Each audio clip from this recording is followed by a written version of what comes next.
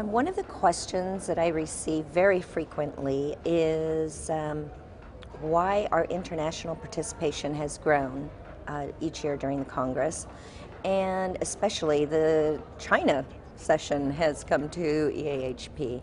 And I think if you read in the news, at least what I've read, the EU China relationship in general has grown considerably over the last 10 years in many areas.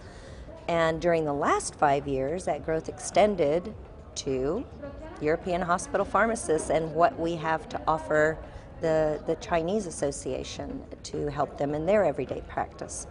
Um, I think that both uh, EU hospital pharmacists and Chinese healthcare professionals know that they can learn from each other. The, the really hot topics in China are clinical pharmacy these days um, and a real interest in evidence based medicine. I had the privilege of working in China in total for about six months over the last three or four years. So I, I, I know the China scene quite well. Um, I think what the Chinese delegates were looking for is how can they publish in the European Journal of Hospital Pharmacy, but also where can they learn some of the skills that we see in Europe and adapt those for um, a Chinese environment. In terms of what they can teach us, I think that they are beginning to understand how to run clinical pharmacy services in very large hospitals. So a hospital of four to 6,000 beds is not uncommon in China. And uh, I think that they can teach those parts of Europe which, does, which has few clinical pharmacy services how to do those well and how to manage resources well.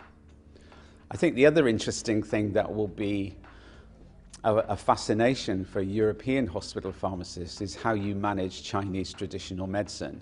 Uh, it is for the first time that EHP has organized a Chinese session for our Chinese colleagues together with them.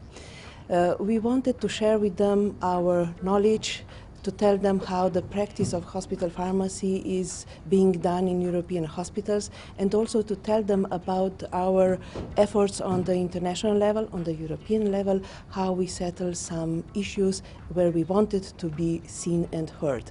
I think it is very interesting also for Chinese colleagues to hear about this because there are uh, issues that are common and issues that are global. So it is uh, not, uh, we are not surprised that Chinese colleagues are interested in this. Getting contribution from different countries and practices is always a gain for the profession because this allows to share practices, compare standards and learn from other colleagues outside Europe and also uh, helps to prioritize what we are working on. Non-EU countries actually uh, will uh, gain from submitting abstract to EAHP, but uh, is also the opposite is true. Also, EAHP will actually gain from having submit abstract submitted from non-EU countries. Of course, we, we want to be a, a global congress, uh, which um, where our, our standards are, can meet with, with other global congresses.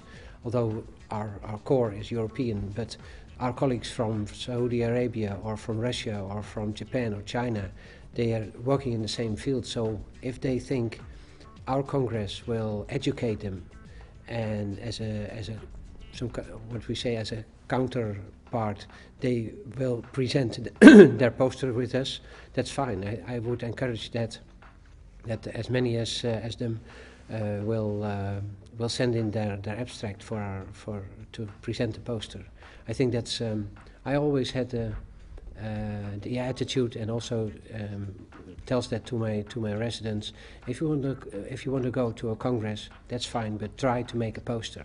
Then you're then you're giving something to the to the organization, to the to, to the profession, and you get things from the profession for your education. So.